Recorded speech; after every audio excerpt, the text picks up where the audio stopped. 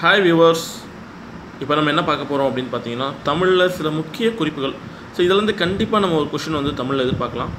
இயற்கை இயற்கையை பேஸ் பண்ணி இலக்கியங்களுக்கு பெயரிட்டவர் திருவி கல்யாண சுந்தரனார் அவர் என்னென்ன பேர் வச்சுருக்காரு அப்படிங்கிறத நம்ம பார்ப்போம். இயற்கை இன்பக்களம் அப்படின்னு அழைக்கப்படும் நூல் கலித்தொகை. இயற்கை ஓவியம் என அழைக்கப்படும் நூல் பத்துப்பாட்டு. இயற்கை வாழ்வில்லம் என அழைக்கப்படும் நூல் திருக்குறள். இயற்கை இன்ப வாழ்வு என அழைக்கப்படும் நூல்கள் சிறப்பதிகாரம் மற்றும் மணிமேகலை. இயற்கை தவம் என அழைக்கப்படும் நூல் சீவக சிந்தாமணி.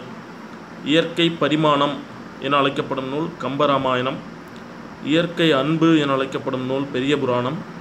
இயற்கை இறையருள் என அழைக்கப்படும் நூல் தேவாரம் திருவாசகம் மற்றும் திருவாய்மொழி. இந்த மூன்று நூல்களும் இயற்கை இறையருள் என அழைக்கப்படுகிறது.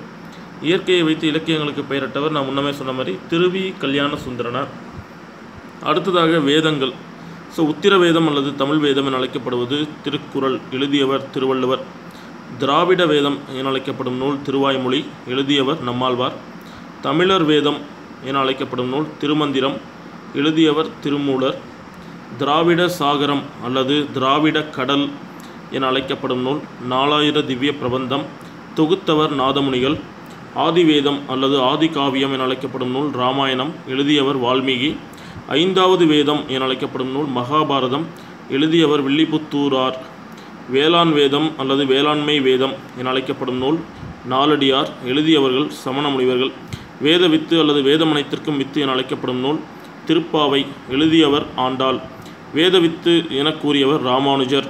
ராமானுஜரின் வேறு பெயர்கள் திருப்பாவை ஜியர் ஸ்ரீ வைஷ்ணவத்தின் வளர்ப்புத்தாய். இது அடிக்கடி கேட்குற கொஷின் ஸ்ரீ வைண ஸ்ரீ வைஷ்ணவத்தின் வளர்ப்புத்தாய் என அழைக்கப்படுபவர் ராமானுஜர்.